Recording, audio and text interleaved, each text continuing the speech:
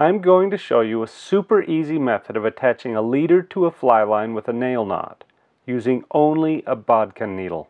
I'm using the Stealth bodkin needle because it has the perfect diameter and length. Begin with the end of the fly line and the bodkin needle in your left hand. Be sure the end of the fly line and the end of the bodkin needle are aligned at about the same length. Place the butt section of the leader next to the fly line with the fattest end of the leader facing toward the left. Now place the skinny end of the leader in your left hand facing to the right. Align the skinny end of the leader to be just a bit longer than everything else. At this point, you should be holding a loop of leader in your left hand and you're ready to form the knot.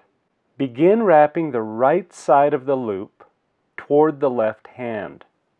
You will wrap it around everything the bodkin needle, the fly line, and both the fat and skinny ends of the leader that you're holding in your left hand. Wrap a minimum of four to five turns.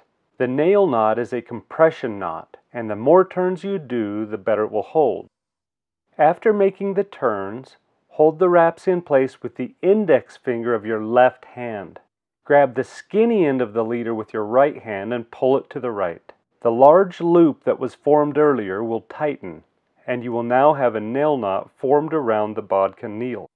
Hold the knot tightly with the left hand and remove the bodkin needle. It is very important that you do not let go of the nail knot with the left hand until the knot has been completely tightened.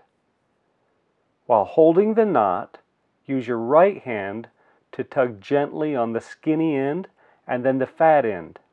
Continue with the gentle tugs back and forth while rolling the knot between the fingers of your left hand. This helps keep the knot clean and straight. You will feel the knot tighten between your fingers. Remove your grip on the knot and trim the tag ends. The nail knot can be intimidating, but with a little practice it can be easily mastered.